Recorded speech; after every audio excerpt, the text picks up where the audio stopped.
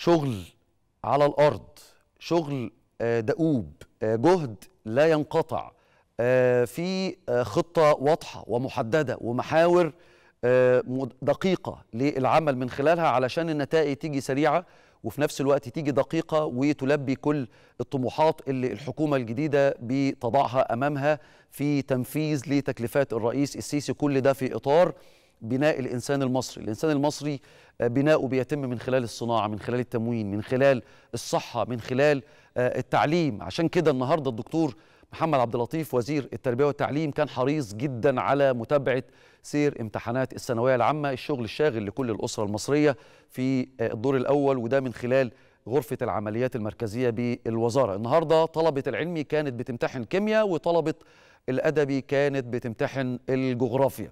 وكالعادة بالامتحان بيخلص كلنا كأولياء أمور بنبدأ نسأل الامتحان كان عامل إيه النهاردة؟ الحمد لله إن الطلبة النهارده في العلمي قالوا إن الامتحان كويس هو ال- ال- الشكاوى لا تخرج عن شكوتين يا الامتحان خارج المنهج أو صعب أو الوقت مش كفاية. عشان كده النهارده وزير التربية والتعليم كان موجود في الغرفة غرفة العمليات المركزية للوزارة اللي متابعة النهارده والحمد لله خرج اليوم على خير ال- الوزارة مشكلة لجنة خاصة لتصحيح إجابات الطلاب في واقعة فيديو الغش اللي انتشر على مواقع التواصل الاجتماعي. وبصراحة يعني هو الفيديو كان غريب شوية وبيعيد إلى الأذهان بعض المشاهد الدرامية اللي تم تصويرها في أحد الأفلام. يعني خلونا كأولياء أمور آه، بنبص لأولا- لأولادنا وبنهتم إن أولادنا يتعلموا صح.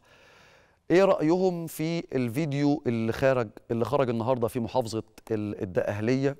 المنصورة في أحد قرى مراكز آه، مركز المنصورة.